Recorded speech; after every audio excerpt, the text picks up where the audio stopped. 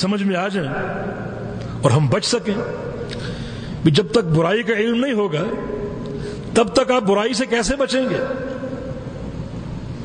حذیفہ بن یمان فرماتے ہیں کہ نبی اسلام کے صحابہ نبی اسلام کے پاس آتے اور خیر کا سوال کرتے۔ میں آپ سے شر کا سوال کرتا تاکہ شر کو پہچان سکوں اور شر سے بچ سکوں۔ اب آپ یہ سمجھیں کہ شرک کیسے پیدا ہوتا ہے؟ میرے بھائیوں شرک انسان کے اندر تین صورتوں سے پیدا ہوتا ہے۔ ان تین میں سے کوئی ایک صورت بندہ اپنا لے، اختیار کر لے تو اس میں شرک آ جائے۔ چاہے وہ صورت وہ مچھر کے پر کے برابر اختیار کرے یا ایک پہاڑ کے برابر اختیار کرے۔ دونوں برابر دونوں ہولناک ہیں، دونوں خطرناک ہیں، دونوں تباہ کن ہیں۔ تین صورتوں میں سے ایک صورت۔ ایک ہے اللہ کی ربوبیت میں شرک۔ اللہ تعالی کی ربوبیت میں شرک۔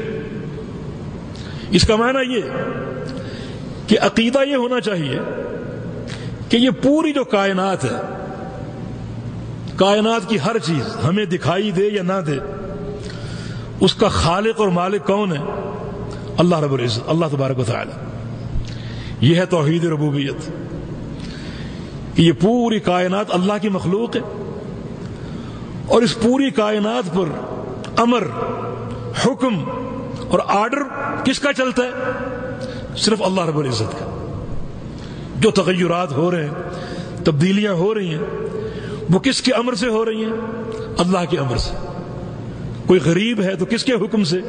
اللہ کے حکم سے۔ کوئی مالدار ہے تو کس کے حکم سے؟ اللہ کے حکم سے۔ کوئی بیمار پڑتا ہے تو کیوں بیمار پڑتا ہے؟ اللہ کے امر سے۔ شفا کس کے حکم سے ملتی ہے؟ اللہ کے حکم سے۔ یہ ایک ذرہ، اس کا خالق کون ہے؟ اللہ رب العزت۔ یہ آسمان، ان کا خالق کون ہے؟ اللہ رب العزت۔ یہ عقیدہ ہونا چاہیے۔ اگر اللہ تعالیٰ کی خلق میں یا اس کے امر میں آپ نے کسی اور کو شریک کر لیا، کہ مثلا فلاں بابا جی اولاد دے سکتے ہیں۔ ایسے عقیدے موجود ہیں۔ فلاں بابا جی اولاد دے سکتے ہیں۔ ہمارے ہاں کچھ لوگ پھرتے ہیں چھوٹے سروں والے۔ ان کے سر چھوٹے چھوٹے ہوتے ہیں۔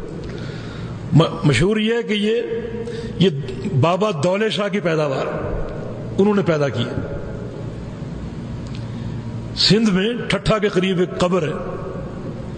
وہاں عورتیں آتی ہیں اور اس قبر والے کی شرم گاہ کو سجدہ کرتے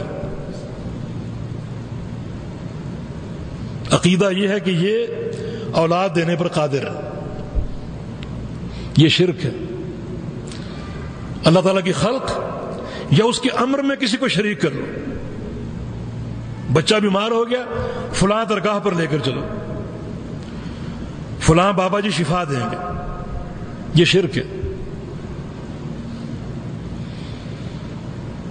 یہ کیا ہے؟ یہ شرک فی ربوبیت۔ کہ یہ خلق و امر اللہ کا اللہ کا فرمان ہے۔ اللہ الخلق والامر۔ کہ یہ پوری کائنات اللہ کی خلق ہے۔ اور اس پوری کائنات پر اللہ کا امر چلتا ہے۔ اس خلق اور امر میں آپ اللہ کو اکیلا جانیں یہ توحید ہے۔ اور اس خلق و امر میں کسی چیز میں آپ نے غیر اللہ کو شریک کر لیا۔ وہ شرک ہو جائے گا۔ خزانے کون دیتا ہے؟ اللہ تعالی۔ اگر آپ کا عقیدہ یہ ہو کہ داتا جی خزانے دیتے، گنج بخش ہے، یہ اللہ کی، اللہ کے امر میں شرک ہے۔ اگر کوئی مالدار ہے تو اللہ کے امر سے مالدار۔ خزانہ کسی کو ملا تو وہ اللہ کی دین ہے۔ آپ کہیں کہ لاہور کی فلاں سرکار خزانے دیتی ہے، یہ شرک ہو جائے گا۔ جس میں یہ عقیدہ آ گیا بیڑا غرق ہو گیا۔ اس کا عقیدہ فاسد ہے، اس کا دل فاسد ہے۔ اب وہ دنیا بھر کے ساری، سارے عمل کر لے، ساری نیکیاں کر لے، اللہ قبول نہیں کرے گا۔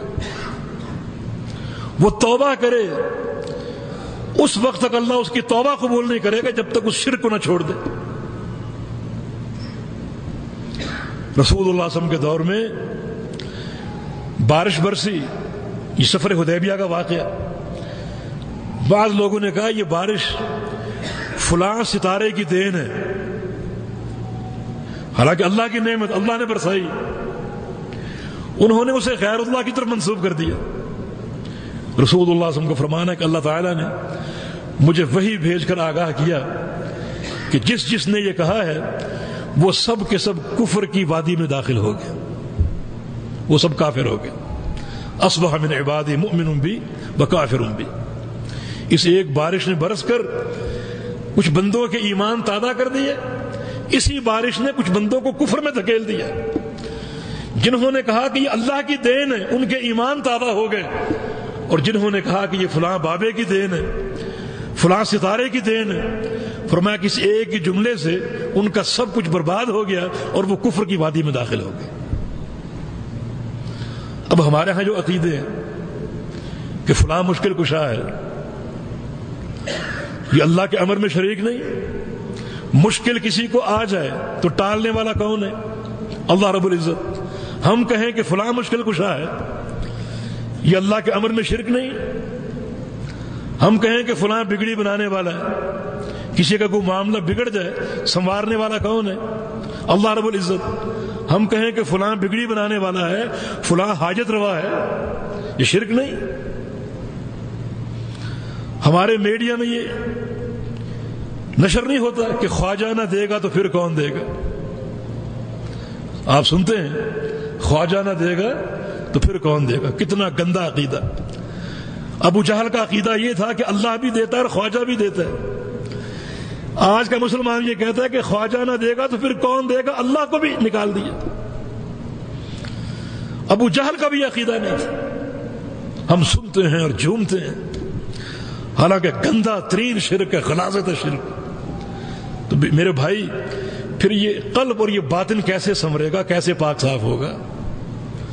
اور وہ کامیابی جس کا ہم نے ذکر سنا، جس کو دین کامیابی کہتا ہے، وہ تو اسی نقطے پر موقوف ہے۔ قد افلح من تزکا کہ کامیاب صرف وہ ہوا ہے جو اس کو پاک صاف کر لے۔ ہر قسم کی غلازت سے، ہر قسم کی گندگی سے ہر قسم کی میل کچیل سے، ہر قسم کی سیاہی سے اس کو پاک صاف کر لے تو ایک تو شرک کی یہ صورت ہے۔ دوسری صورت میرے دوستو یہ ہے کہ اللہ تعالیٰ کی عبادت میں کسی کو شریک کر لیا جائے۔ اللہ تعالیٰ کی عبادت میں۔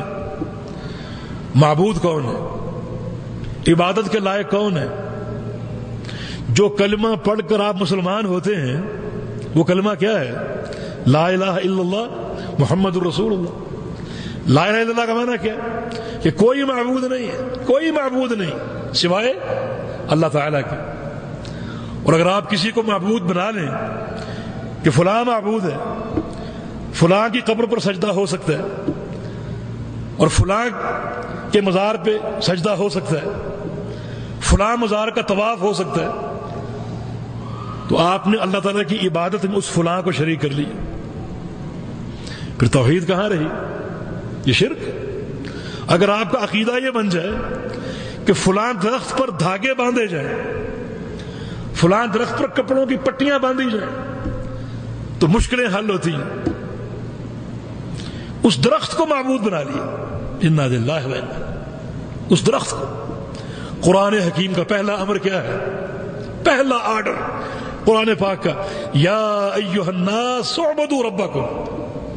اے لوگو، تم عبادت کرو صرف اپنے پروردگار کی، اپنے رب کی۔ سورہ فاتحہ میں کیا آپ اقرار کرتے ہیں؟ ایا کا نعبد و ایا کا نستعین۔ اے اللہ، میں خاص تیری ہی عبادت کرتا ہوں اور تجھ ہی سے مدد طلب کرتا ہوں۔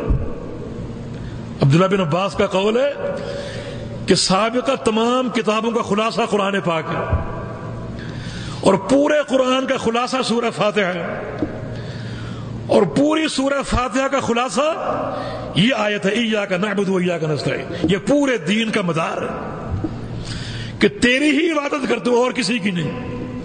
اور تجھی سے مدد طلب کرتا ہوں اور کسی سے نہیں۔ اقرار آپ کرتے ہیں، دن میں کئی بار کرتے ہیں۔ اور پھر آپ کسی اور کو پوجیں، کسی کی قبر پر دیا جلائیں، چادر چڑھائیں، پھول چڑھائیں۔ یہ سب شرک ہے، میرے بھائی شرک ہے۔ دیا کیوں جلاتے ہیں؟ چادر کیوں چڑھاتے ہیں؟ پھول کیوں چڑھاتے ہیں؟ بعض لوگ کہتے ہیں یہ معمولی چیزیں معمولی نہیں ہے یہ تو بہت سے شرکوں اور بہت سی نحوستوں کا منبع دیا اس لیے جلاتے ہیں تاکہ صاحب قبر ہم سے خوش ہو جائے کہ فلاں نے ہماری قبر پر آ کر دیا جلایا۔ اس کا معنی کیا ہوا؟ کہ آپ کا عقیدہ ہے کہ صاحب قبر غیب جانتا ہے۔